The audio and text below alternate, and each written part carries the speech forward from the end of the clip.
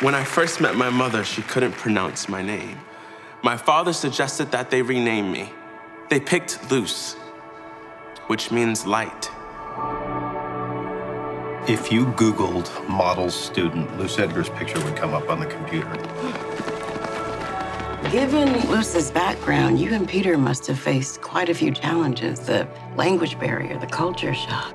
I mean, you don't pull a kid out of a war zone and have him turn out like Luce without a lot of help. Which is why this is so difficult. Difficult? Last week, he wrote a paper in which he argued that violence was a necessary cleansing force. You, you teach this? I don't.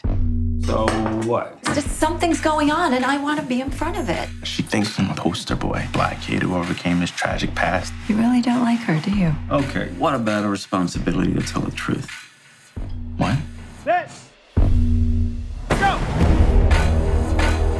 You don't conform to what she wants, and suddenly you're the enemy. This woman has some kind of vendetta against Luce.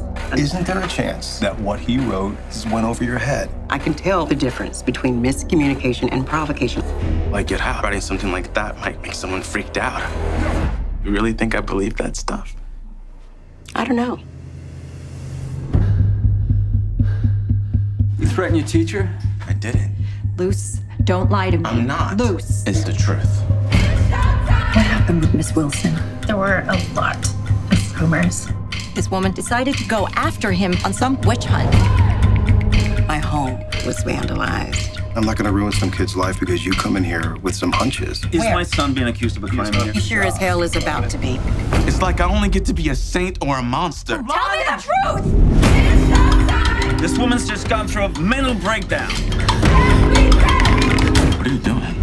He's lying, Dan. Harriet. Once you know something, you can't unknow it. I want to know. No matter what.